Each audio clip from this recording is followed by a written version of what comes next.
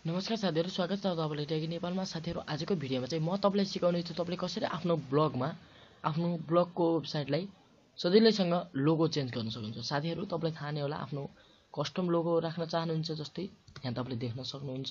यो चाहिँ मेरो लोगो रहेको छ साथीहरू यहाँ देख्न सक्नुहुन्छ।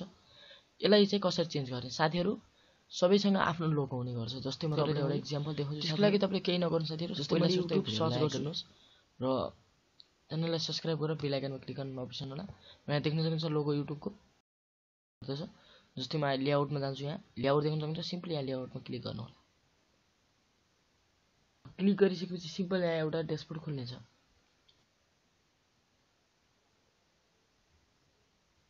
जस्तै यस्तो खुल्नेछ साथीहरू सिम्पली तपाईँले के गर्नु पर्दैन स्क्रोल डाउन तल आउनु होला। तल गर्दै आउनु होला।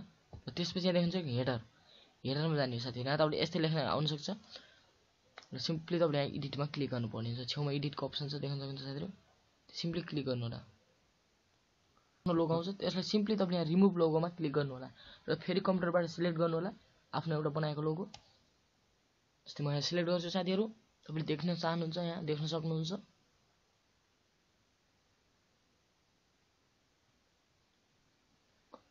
सिम्पली त साथीहरू तपाईँले यहाँ एउटा पपअप विन्डो आउनेछ तपाईँले सिम्पली यहाँ क्लिक गर्नु होला।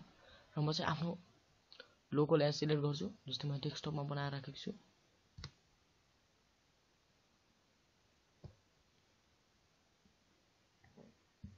जस्तै एनडब्ल्युई छ साथीहरू म सिम्पली सिलेक्ट गर्छु।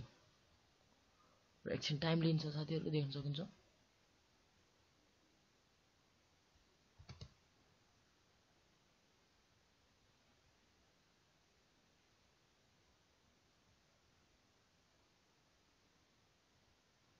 साथीहरू एकछिन टाइम लिनेछ र देख्न सक्नुहुन्छ सक्सेसफुली भइसकेको छ। म सेभमा क्लिक गर्छु साथीहरू।